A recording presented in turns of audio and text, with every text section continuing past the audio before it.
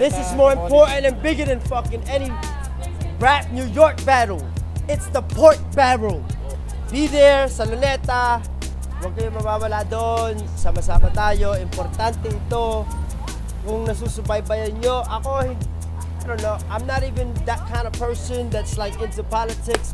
Friday 13th, be there. This is important. Uh, kinabukasan ng Pilipinas, mga utol. Tara doon, sa Luneta. We against that pork barrel shit. Yeah. Makibaka!